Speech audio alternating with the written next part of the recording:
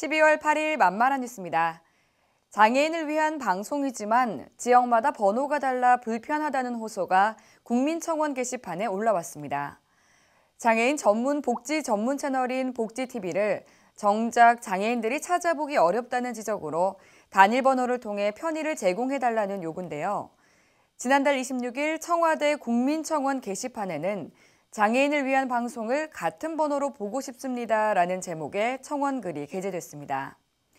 서울에 사는 대학생이라고 자신을 소개한 청원인은 장애인과 관련한 정보를 얻는데 복지TV를 이용한다며 다른 방송에서는 다루지 않는 장애인이나 복지 관련 전문적인 정보들이 들어있기 때문이라고 설명했는데요. 이어 장애인 복지 전문 채널이라는 점에서 정보를 얻고 문화 접근 통로가 되고 있다며 수어를 배우는 방송도 있고 문화 소식도 많아 복지에 관심이 많은 자신은 물론 장애인들에게도 힘이 될 것이라고 전했습니다. 또한 수어나 자막도 실시간으로 100% 적용해주니 공공 역할을 하는 의미도 있다고 생각한다고 해당 방송에 의미를 부여하기도 했습니다. 2005년 설립된 복지TV는 설립 이후 방송통신위원회 공익 채널로 연속해 선정돼 왔으며 2012년부터는 방송법에 명시된 장애인 복지를 위한 채널로 인정돼 전국에 의무 전송되고 있는데요. 사회복지 전반에 걸친 다양한 소식을 전하며 복지 전문 방송의 입지를 굳히는 동시에 특히 장애인들의 정보 접근권에 집중적으로 관심을 두고 관련 프로그램을 제작하고 있습니다. 100% 수어와 자막은 물론 화면 해설도 제공해 오고 있는데요.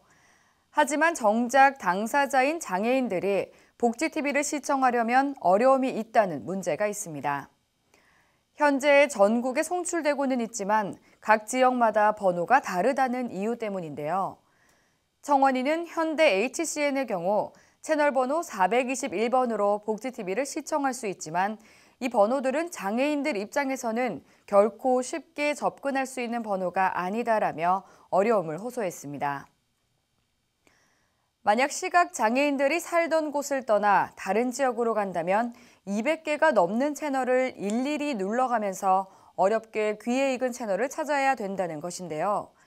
장애인을 위한 방송을 정작 장애인 당사자들은 찾아보기 어렵다는 현실을 지적하는 부분입니다.